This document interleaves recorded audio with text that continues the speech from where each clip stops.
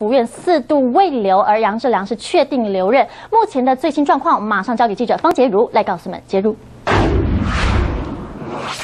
好，主安政行政院今天向马英九总统报告健保费调整方案。经过这多日的协商，行政院跟卫生署已经完成了最后折中方案，在不修法的前提之下，以单一费率差别补助为原则。而就在今天呢，现在我们来到新闻局，看到吴敦义、吴奎已经准备上台了。而在他最后呢，会有杨志良署长也跟着上台，他们即将来报告这个健保调整费率的最新变动的方案。也就是说呢，从四零五五。爬要变到五点一三、五点零九趴都有可能。那现在杨志良组长他原本就是既定今天要来公布，来看一下现场画面。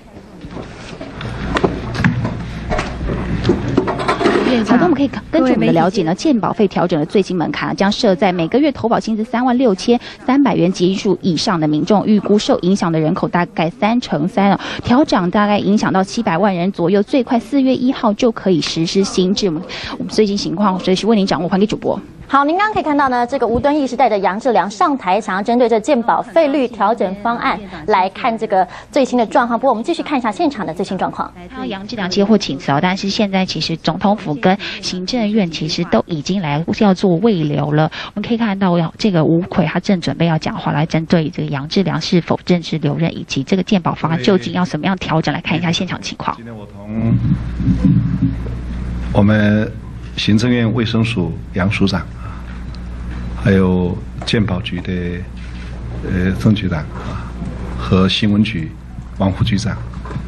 开这个记者会，有几项重要的事情向大家报告。第一，当前是我们健保财务改善的关键时刻，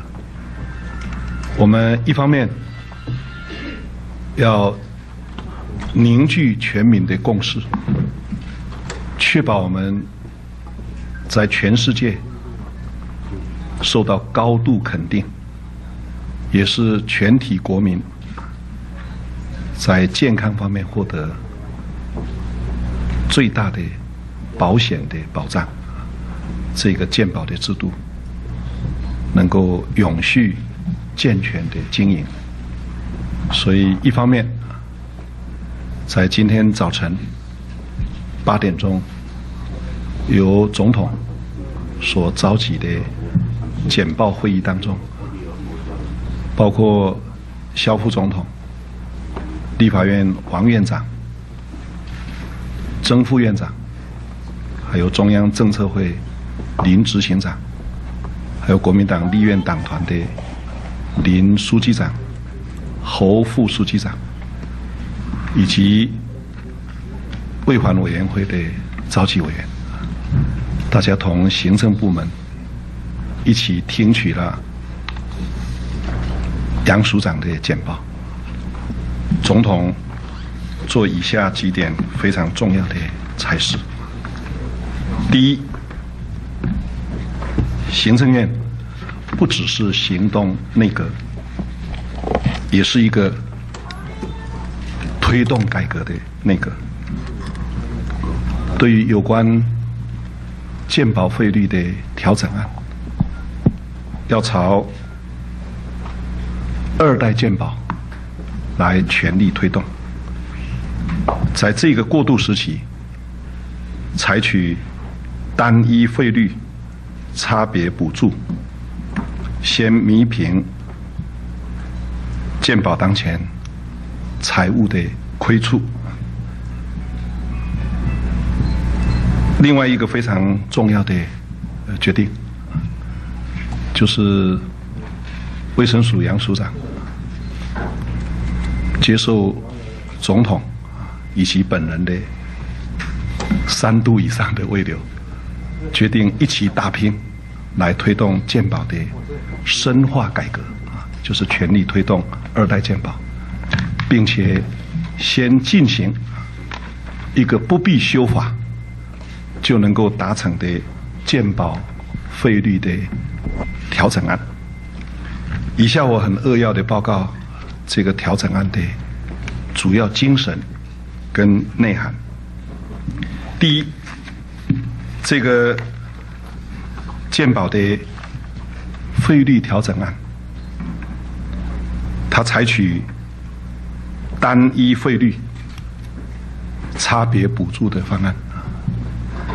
原先考量的副案之一啊，是差别费率。这两样的呃不同就是，如果采取差别费率，大致上啊，为了避免呃不同的疑虑啊，所以可能采取修法，或者采用一个致函给。立法院啊，由院会同意备查的方式来采取差别费率，但是今天采用的方式是不必修法，也不必再另行办函给立法院，因为单一费率差别补助，简言之就是一个不必修法的差别费率。中间最大的不同是，我们采取单一费率差别补助的方案以后。大致上，对于比较中低收入的这个薪俸阶级哈，就是用薪资来投保的国人啊，他依然会在政府的补贴下啊，他维持原有的健保费率不动，也就是说，他不会调整。这里面大概有七十趴线以上的。呃，投保人是不会变动的。那比原先的这个鉴保费要多支付，大概从八十九块到一百九十四块，就是在部分的这个国人啊，会每个月大概多出八十几块到一百多块钱。那如果以一家四口来，呃来计哈，他多支付的额度也是在数百元之间啊，就是只有百分之大概二十几的这个人口啊是会调整到，也就是杨署长原先提的，大概多一个便当钱或者多一份餐的这个钱。那么如果用这个差别费率。一定要修法，用单一费率不修法，那中间有部分啊，就是由政府来给予补贴，以这样子的方式来使得健保的财务缺口能够获得这个弥平啊，在这个过渡时期。第二个重点就是依据这样的一个方案，除了有七十个 percent 以上的投保人不会多增加任何支出以外。大致上是在投保的薪资四万两千元啊，也就是实质的薪水啊，大概在五万三千多元啊，这个区间的人，大概政府补助百分之二十，那他要负担一部分，在投保薪资、投保金额五万三千元以上。也就是实质的薪资所得大概在六六万七千九百四十九元以上的哈，他才百分之百啊调整的费率啊由他完全来负担啊，这就是这次整个健保费率的这个调整案，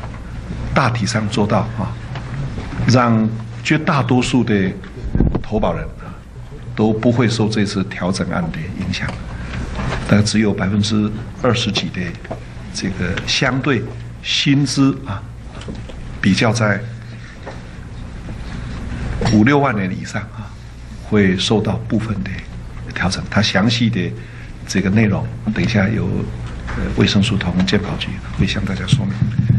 那么在这里，一方面要谢谢我们全国各界啊，特别是。我们所有这个健保的投保人，以及提供服务的医疗方面的机构跟人员，同鞭策我们在健保方面要例行精进的立法院跟各界各社团的人士，我想我们呃卫生署同健保局在国人的高度期许之下，一定会努力来推动健保，力求精进啊，包括还是有若干缺失，是国人盼望啊能够改善的。例如说，这个还有一些药价啊，可能要做得更缜密啊，使得它的这个呃损耗能够减少。另外，医疗资源的这个有效的使用，避免过多的浪费。还有地方政府所谓劝缴这个补助费，这个虽然已经呃大致解决，但是他们因为有部分是要分期这个偿还，所以健保局还是会敦促相关的地方政府跟议会能够依照协定啊。如期的能够来缴还，使健保的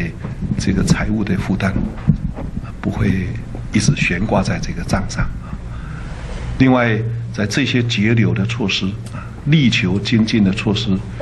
呃，在逐步的要落实，这样我们调整健保费率啊，才能得到更多人民的支持。因为很多人反映啊，随着我们国家人口越来越长寿。其实，在健保的给付方面，它不能不增加很多的这个负担。另外，也还有其他啊，像过去啊，大概大家也留意到了，有很多新的医疗技术也逐渐的要引入台湾。像今年肖总统就特别提到，过去很多像 CT 啊，像其他的这些更进步的这个见诊或者其他的这个设施。是近若干年才引进到台湾来，它一方面多保障了我们投保人，但是其实在健保的给付上也不能不增加。还有大家也很关注的，有些位列禁药还是有泛滥，那以至于我们国人在洗肾方面的支出，现在都超过每年三百亿以上，这个也是等于健保的一个沉重的负担，所以。我们卫生署一定会督促健保局，在国会的监督、国人的鞭策之下，力求精进，杜绝漏洞，减少缺失，使它节流能够更进绩效。而在有效的各种提供国人的服务方面，它还要力求更大的改善、更周到。我想以上是非常扼要的向大家报告，非常。呃，欣慰的是，国人大体上了解我们健保不能倒的这个状况，而健保的财务的确也需要有调整、改善的这个及时的作为。但是推动二代健保也是国人殷切期盼，唯有推动二代健保，这个家户所得啊，来作为我们健保费率的这个承载的基础。他才会更实现社会公平正义。杨处长今天也是在这样的使命感之下。好，观众朋友，您可以看到，刚吴端义是宣布呢，健保涨价定案，而且强调薪资五万元以上，百分之二十几的人得多付一个便当钱。不过同时强调，百分之七十的人是不受影响，也说会推二代健保。另外也同时也强调说，有在经过了三度的未留，卫生署长杨正良是确定留任。更多相关讯息，中天新闻随时带您第一手来掌握。的扼要的前年报告到这里告一段落。